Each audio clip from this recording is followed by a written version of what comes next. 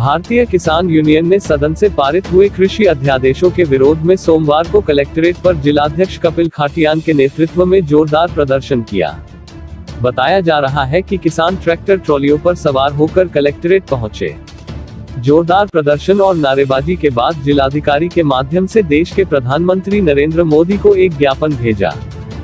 तो किसान तो धरने पर नहीं है, अर्थी पे भी जाएगा जो हालात आज सरकार ने कर रखे भाई, ये जो तीन अध्यादेश आए, सिर्फ़ किसान विरोधी है।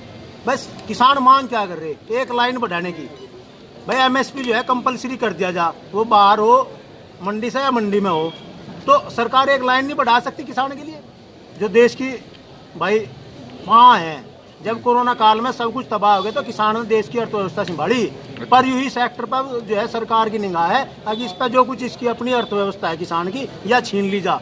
ये भुक्का मरने कगार में छोड़ने की बात आ रही है अब तो। अच्छा क्या चाहते हैं अब आप यहाँ? हम तो ये चाहते हैं कि जो तीनों अध्यादेश आए ये भी निरस्त करें ना और जो है किसान के विषय में सोचे जाए किसान जो है देश को आगे लेकर चल जाए पर आज की सरकार किसान के विषय में नहीं चाह रही कुछ तो धरना प्रदर्शन कब तक बैठेंगे आप यहाँ? नहीं आज तो हमारा यहाँ अब जो है ज्ञापन देंगे और 25 तारीख में हमारा कमिश्नरी पे जो है यहाँ पर सहारनपुर और लखनऊ धरना है जो अनिश्चित चलेगा।